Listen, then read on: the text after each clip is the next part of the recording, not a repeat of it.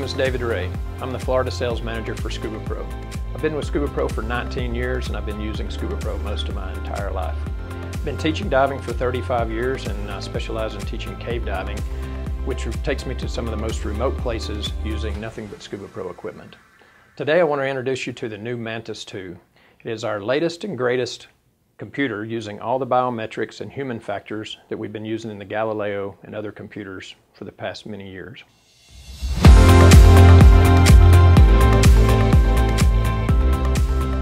Good day. We're going to talk about the Mantis 2 and today we're going to talk about the, uh, the features of the Mantis 2 and walk you through some of the many settings that are available. First, if you'll notice, we have a beautiful rubber band or a metallic band that can be used for dress. This one being rubber is going to be better for wearing with a wetsuit or a dry suit or for your diving, but then you can easily switch to the stainless band for going out in the evenings. When you look at the watch, you'll notice the 3 16 stainless case. We have the same four buttons that we've had on our previous watches like the Meridian. These buttons are a magnet and a reed switch. So there are no holes drilled in these locations going through the case for the, any potential for uh, water intrusion. When you look at the outside, it's very obvious this is a dive watch. It's very obvious it's a Scuba Pro watch, which people will be very proud to wear.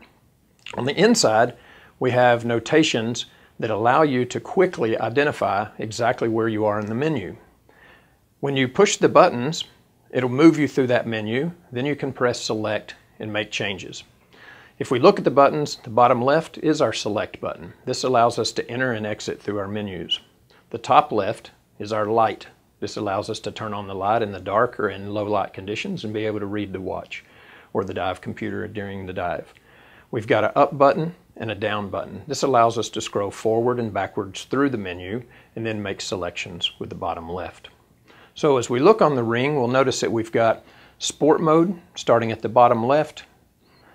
We've got stopwatch, altimeter, compass, dive planner, log, dive. This is where we would set for scuba, for apnea, for gauge, or for swim modes.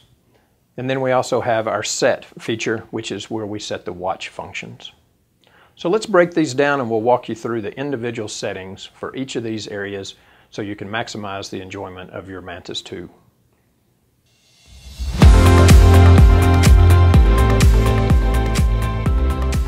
Today we're going to talk about the operation mode of the Mantis 2.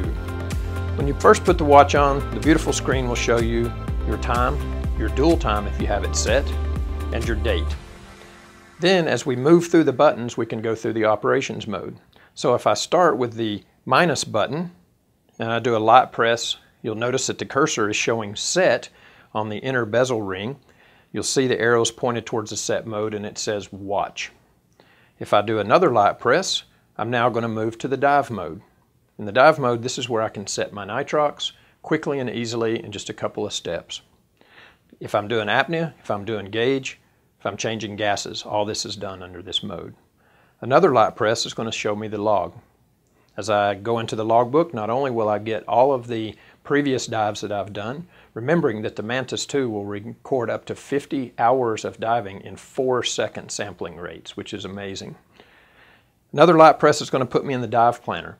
This will let me plan a dive using the percentage of nitrox that I'm using, getting ready for the dive, knowing how long I'm going to be able to stay down, what kind of time I'm looking at, and then on the surface I can even program in how long I want to stay on the surface so that I can get longer bottom times on my, my second dive. Or if I change nitrox mixes for the second dive, I can do a dive plan for that as well. Another light press, I'm going to get the compass. And again, we're going to walk you through these individually and we'll show you how to set up your compass and then in what features you'll be able to use the compass through the use of your Mantis 2.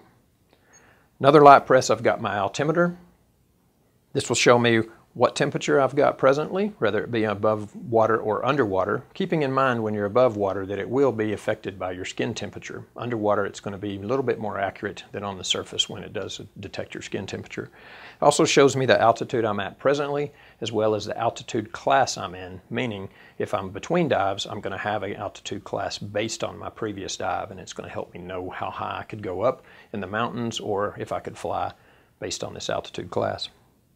Then we have sport mode. Sport mode is brand new for the Mantis 2. It's a fantastic feature that's going to be able to allow you to use this for your fitness, for your hiking, for your mountain biking, whatever you're doing where you've got activities outside without having to change the device that you're wearing. You can use your Mantis 2 for sports as well as for diving.